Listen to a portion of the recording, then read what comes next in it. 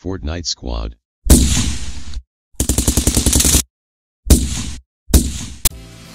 Hey, what's up guys? CE Tech Dude here, thanks for joining me today. We all know Fortnite Mobile on your phone is pretty awesome, especially now with added controller support, but what about Fortnite Mobile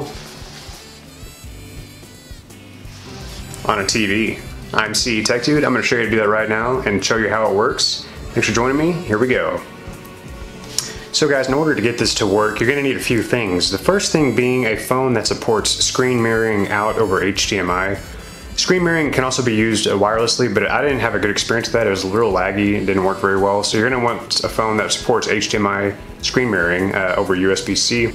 I'm using the Samsung DeX dock and it works perfectly, uh, but in DeX mode, it doesn't work. So you have to switch to screen mirroring mode on your phone. Once you get into screen mirroring mode though, everything works perfectly. Um, there's no lag that I've noticed. Frame rate's good. Uh, the Note 9 that I'm using runs at 60 frames per second. But once you get this working correctly, things work really well. I'm gonna show some gameplay right now of me playing on the TV with the PS4 controller and let you know, let's see how I do. Here we go, guys.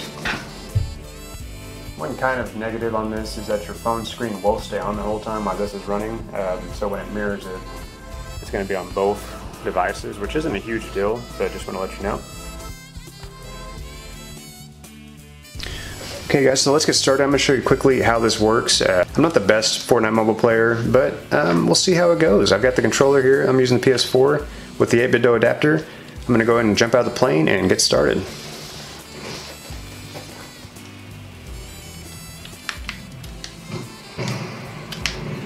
Going to Pleasant Park.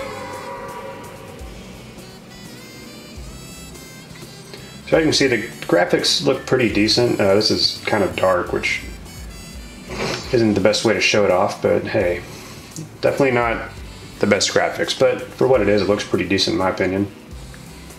It is being stretched to 4K right now, so.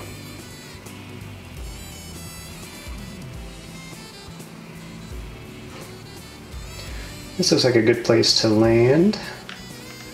Hello, is anybody home?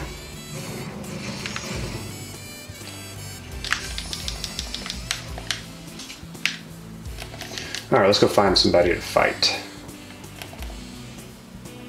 I know they're around here somewhere. This is definitely playable, guys. There's no lag, no input lag that I can I can notice. Um,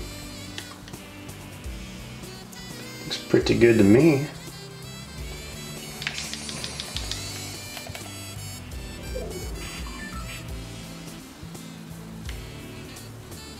Apparently I landed where nobody else landed, so I'm going to go ahead and cut to where I find somebody so you can see how, uh, how this does when you're fighting up through the plane.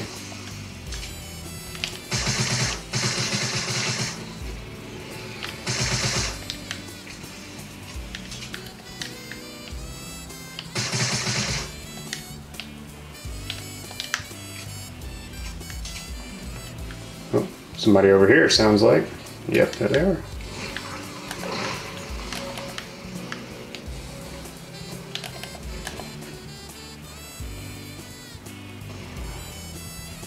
See if I can get this guy. Oh.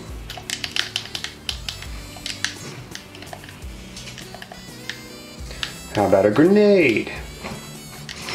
Oh.